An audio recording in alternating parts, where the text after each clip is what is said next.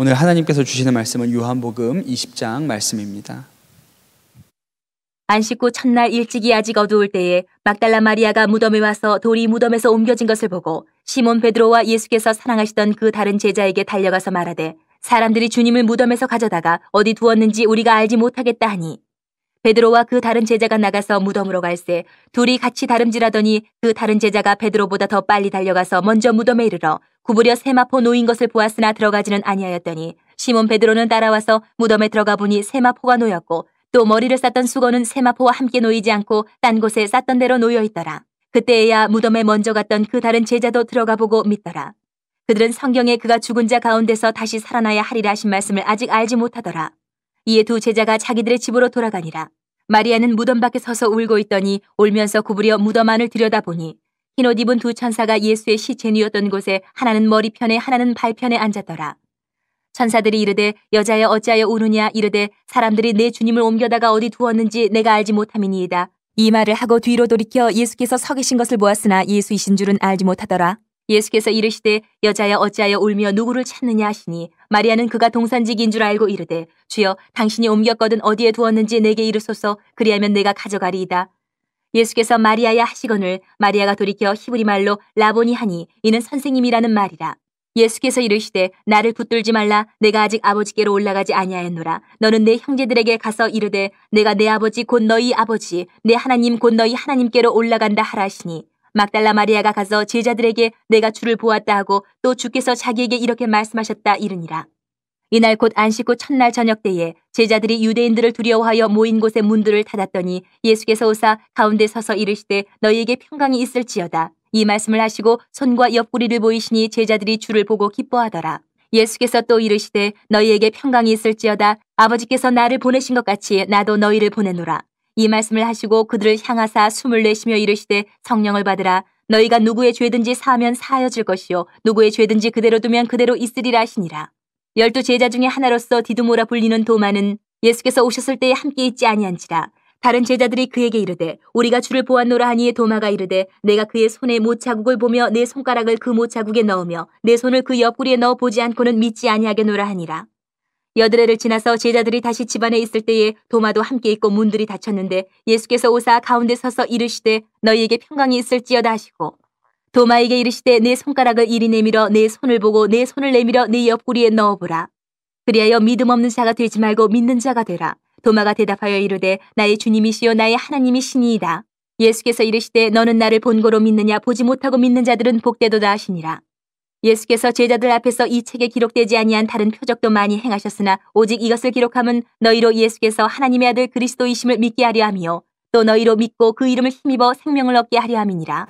아멘. 하나님의 말씀입니다. 어, 요한복음 20장은 예수님의 부활 사건을 다루고 있습니다. 그 부활 사건을 크게는 네 가지 이야기로 전하고 있는데 첫 번째는 안식 후 첫날 아직 해가 뜨지 않아서 어둑어둑할 때 막달라 마리아가 예수님의 무덤을 찾았다가 예수님의 시신이 사라진 것을 발견합니다. 아, 그리고 그 사실을 요한과 베드로에게 알리고 요한과 베드로가 예수님의 무덤이 빈 것을 확인하고 돌아가는 이야기입니다. 두 번째 장면은 여전히 무덤 가운데 남아서 울고 있던 마리아에게 예수님이 나타나신 것입니다. 처음에 마리아가 아, 그분이 예수님인 줄로 깨닫지 못하다가 예수님께서 마리아의 이름을 부르셨을 때, 아, 예수님이시구나, 그렇게 알아보지요. 그리고 예수님께서 이 마리아에게 당신이 부활하셨다는 아, 사실을 알려 주십니다. 세 번째 장면은 어, 부활하신 그날 저녁에 일어난 일입니다. 제자들이 여전히 두려움에 빠져 있었고 문을 다 걸어 잠근 채로 어, 모여 있었습니다. 그때 그 제자들 가운데 예수님이 나타나시지요. 그리고 제자들에게 평안하라고 말씀하시고 손과 옆구리에 상처를 보여주시고 제자들에게 다시 한번 그들이 아, 예수님이 주신 사명을 따를 것에 대하여 말씀을 해주십니다. 네 번째 장면은 하필 그 예수님이 나타나신 자리에 없었던 도마 이야기입니다. 예, 꼭 어딜 가든지 있어야 할 자리에 없는 사람들이 문제를 일으키죠. 나중에 와서 꼭 딴소리를 합니다. 도마는 어, 제자들이 부활한 예수님을 보았다는 이 얘기를 믿을 수가 없었습니다. 그러면서 자신의 손으로 예수님 손과 발과 옆구리의 상처를 만져보기 전에는 믿을 수가 없다. 그렇게 이야기를 하죠. 그리고 그렇게 이야기한 후에 8일의 시간이 지납니다. 그리고 나서 어, 예수님께서 다시 제자들에게 나타나셨고 도마에게 손과 옆구리의 상처를 보여주시면서 만져보고라도 믿는 자가 되라 그렇게 이야기하시는 네 가지의 이야기가 아, 에피소드가 연이어서 등장을 하게 됩니다. 그리고 나서 이 모든 어, 부활의 이야기 뒤에 31절 오직 이것을 기록함은 너희로 예수께서 하나님의 아들 그리스도이심을 믿게 하려 함이요 또 너희로 믿고 그 이름을 힘입어 생명을 얻게 하려 함이라 그렇게 기록을 합니다.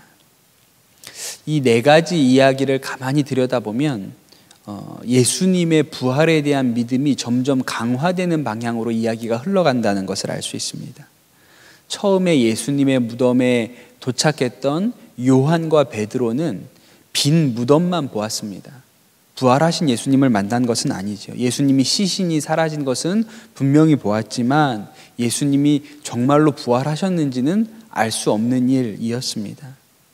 그러나 아, 베드로와 요한이 돌아가고 난 뒤에 여전히 무덤에 머물러 있었던 막달라 마리아는 부활하신 예수님을 만납니다.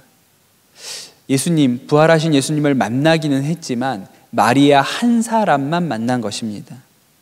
어, 증언은 두세 사람이 같이 해야 아, 의미가 있는 것이죠. 한 사람이 부활하신 예수님을 만났다고 하면 그냥 그의 단순한 주장 밖에는 되지 않습니다.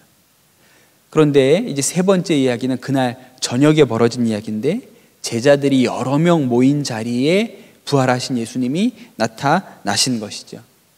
그리고 마지막 이야기는 그래도 부활을 믿을 수 없다고 말하는 도마에게 예수님이 나타나셔서 손과 옆구리의 상처를 만져보고서라도 믿는 자가 되어야 한다. 그렇게 이야기를 하시는 거예요.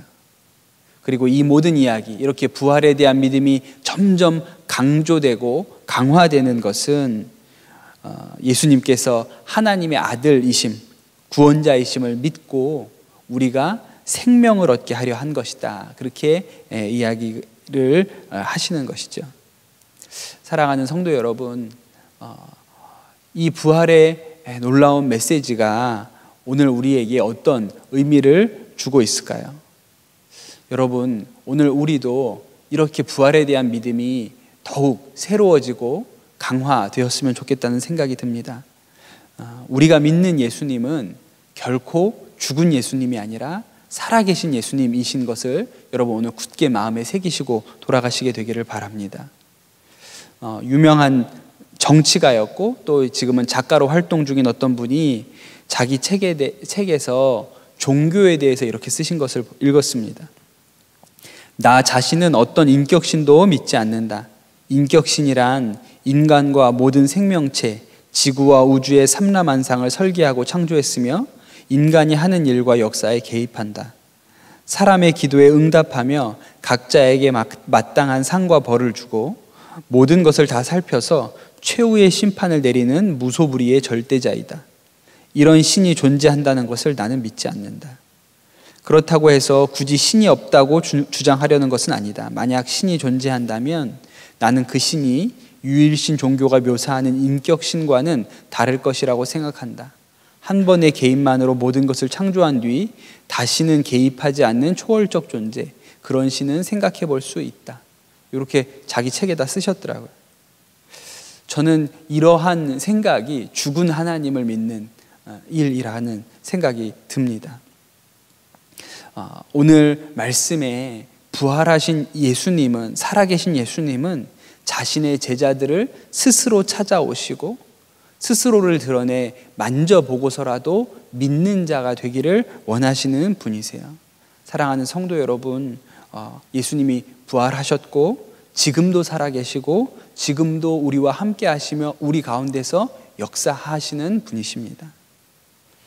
어, 지난 부활절에 저희 고등부에서 의미 있는 간증이 있었습니다. 제가 아주 좋아하고 관심이 있는 학생이 하나 있습니다. 이제는 졸업하고 21살이 되었는데요. 제가 이 친구를 특별히 좋아하고 관심을 가지는 이유는 이 친구가 중학교 때 추수감사절에 제가 헌금을 하나님 앞에 잘 해보라 마음을 들여서 해보라고 했더니 통장을 통째로 하나님 앞에 드렸던 어, 친구이기 때문에 제가 아주 특별하게 생각하는 아이입니다. 중학생으로서는 상당히 큰 액수가 그 통장에 들어 있었죠. 그때 이 친구가 예고에 진학하기를 원했습니다.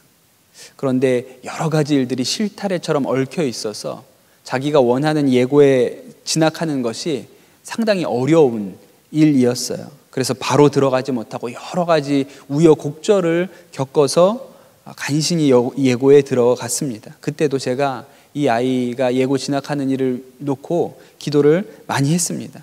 다른 애는 몰라도 하나님 얘는 꼭 붙여 주셔야겠다고. 왜냐하면 얘는 통장을 바쳤으니까 하나님이 이런 애를 붙여 주셔야 이게 간증이 된다. 그렇게 기도를 했던 기억이 납니다.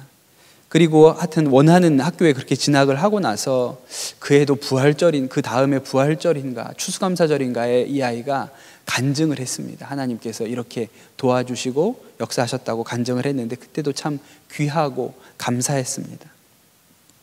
근데 벌써 이제 3년이 지나서 이 아이가 고등학교를 마치고 대학교 입시를 치렀는데 저는 여전히 하나님 다른 애는 몰라도 얘는 꼭 붙여주셔야 되는 애다. 그렇게 기도를 했습니다. 왜냐하면 얘는 통장을 바쳤으니까요. 그런데 떨어졌습니다. 떨어진 것 뿐만 아니라 그 입시 과정이 너무 힘들었고 또 그 결과가 스스로가 받아들일 수 없게 억울한 결과였습니다. 그래서 야, 다시는 이거 하지 말아야겠다. 내가 이 악기는 다시는 손에 쥐지 말아야겠다. 그렇게 아이의 마음이 예, 상했습니다. 그래서 그렇게 올해 그렇게 중학교 내내 고등학교 내내 준비했던 전공도 포기하고 이제 다른 거 해야겠다 이렇게 마음을 먹었다는 이야기를 전해 들었습니다. 그참 안타까운 마음이었어요. 왜냐하면 그, 그 거기까지 하나님께서 인도하신 것을 생각하면 분명히 하나님이 이 아이에 대해서 이 악기를 통해서 하실 일이 있다는 믿음이 있었기 때문입니다. 그래서 제가 어, 기도를 했습니다. 하나님, 이 아이의 마음을, 심령을 만져주시고 선한 길로 인도해 주십시오. 얘는 통장 바친 아이 아닙니까? 제가 그렇게 예, 기도를 했습니다. 그리고 지난 3월에 예, 그 다시 마음을 새로 잡고 대학 입시에 도전해서 예, 원하는 학교에 입학했다는 소식을 전해 들었습니다. 예, 우리가 이름만 되면 알만한 명문 학교에 잘 진학을 했다는 이야기를 듣고 얼마나 기뻤는지 모릅니다. 너무너무 감사하고 아 하나님께서 딸의 인생을 딱 손에 쥐고 계시는구나. 그래서 너무 감사한 생각이 들었어요. 그리고 나서 후배들한테 이젠 후배들이 됐죠. 후배들한테 간증하라고 부활절에 간증자로 어, 예배에 세웠습니다. 제가 무엇이 기뻤냐면 이 아이에게는 하나님이 살아계신 하나님이라는 사실에 너무나도 기쁘고 감사했습니다. 고등학교 입학한 것도 간증이고 대학교 입학한 것도 간증할 수 있는 사람. 그러니 그 아이의 삶 가운데는 하나님이 너무나도 분명하게 매 순간순간 살아서 역사하시는 것이죠. 저는 그것이 너무 귀하게 생각이 되었습니다. 우리 다른 청소년들에게도 너무나도 분명히 살아 역사하시는 우리의 삶 가운데 살아 역사하시는 예수님을 경험하게 해주고 싶은 것이죠. 마치 오늘 말씀에서 예수님께서 당신의 부활을 점진적으로 점점 강화되는 방향으로 믿을 수밖에 없는 방향으로 알려주시는 것처럼 그렇게 하여 제자들을 믿음 가운데 세우셨던 것처럼 어, 이 딸의 믿음도 점점점 자라게 하시고 부인할 수 없게 만들어 가시는 것으로 인해서 너무나도 어, 감격을 누리게 됩니다. 어, 여러분, 우리도 마찬가지로 이 부활의 예수님이 점점 어, 우리의 인생의 연수가 더해 갈수록 분명하게 믿어지는 은혜가 있게 되기를 축복합니다. 저는 제 주변에 한 분, 두 분씩 잘 알고 사랑했던 분들이 하나님 앞에 부름 받을 때마다 이 부활의 믿음이 더욱더 간절하여지고 소망으로 새겨지는 것을 경험합니다. 어렸을 때는 사실은 부활이 어떤 것인지 잘 몰랐죠. 크게 관심이 없었지만. 아, 이 땅에서 그 어렵고 고생스러운 시절을 지났지만 우리가 하나님 앞에 더욱더 존귀한 모습으로 다시 만나게 될 일에 대하여 더 분명하고 강한 믿음에 붙들리게 되는 것을 보게 됩니다. 오늘 예수님께서 제자들에게 당신의 부활을 드러내신 것처럼 어, 오늘도 우리에게 살아계시고 부활하신 예수님을 증거하시기를 원하십니다. 그리하여 우리가 생명 없는 자처럼 살지 않고 생명 가운데 살기를 원하시는 것이죠. 마치 하나님께서 이스라엘 백성을 일부러 홍해 앞으로 인도하시고 그 홍해의 깊은 물 가운데서 내가 여호와인 줄 알 것이다. 너희가 내가 하나님인 줄을 알 것이다. 라고 보여주셨던 것과 같이 지금도 살아 역사하시는 우리의 문제와 위기 가운데 개입하시고 살아서 하나님의 일을 행하시는 분이신 것을 여러분 오늘 말씀을 통해 깨닫고 경험하시게 되기를 축복합니다. 오늘 이 새벽에 기도하실 때 우리 이 말씀 어, 굳게 붙들고 함께 기도하면 좋겠습니다. 27절에 음, 믿음 없는 자가 되지 말고 믿는 자가 되라 그렇게 말씀하셨습니다. 31절에 오직 이것을 기록함은 너희로 예수께서 하나님의 아들 그리스도이심을 믿게 하려는 것이요 또 너희로 믿고 그 이름을 힘입어 생명을 얻게 하려 함이라 그랬습니다. 오늘 이 새벽에 기도하실 때 주님 지금도 살아서 역사하시는 부활하신 예수님을 우리가 믿게 하여 주시옵소서. 우리의 믿음이 하루하루가 다르게 연수가 더해가면 더해갈수록 이 부활의 믿음과 소망이 더욱더 강건하고 분명해지게 하여 주옵소서. 이 시간 합심해서 요 한 가지 제목으로 기도하시고 자유롭게 기도하시는 시간 갖겠습니다. 함께 기도하겠습니다. 사랑의 하나님 아버지 감사합니다. 이 새벽에 우리에게 하나님의 말씀 주신 것을 하여 감사와 영광을 주님 앞에 올려드립니다. 하나님 이 믿음이 하나님 제자들에게 예수님께서 여러 번 나타나셔서 당신의 부활을 알려주셨던 것과 같이 하나님 우리도 이 부활 가운데 경험하게 되기를 소원합니다. 예수님의 부활이 우리의 삶 가운데 하나님 너무나도 분명하게 증거 있게 드러나게 하여 주시옵소서. 하루하루가 다른 믿음으로 성장하게 하여 주시고 하나님 해의 연수가 인생의 연수가 더해갈수록 우리가 주님을 더욱더 깨달아 알고 하나님 우리 삶 가운데 살아서 역사하시고 일하시는 주님을 더욱더 경험하게 하여 주옵소서. 하나님 주님께서 그렇게 행하시게 되기를 소원합니다. 하나님 그렇게 일하시게 되기를 소원합니다. 하나님 우리의 인생이 부활의 간증이 일어나게 하여 주옵소서. 부활의 사건이 일어나게 하여 주옵소서. 부활의 믿음이 더하여지도록 축복하여 주옵소서. 오 우리가 주님을 더 알게 되기를 원합니다. 하나님 깊이 만나게 되기를 소원합니다. 생명이신 주님 하나님 우리의 삶 가운데 역사하시고 우리를 위하여 십자가 지신 주님이 우리 가운데 더욱더 깨달아지고 알아지고 이어지는 내가 있게 하여 주옵소서.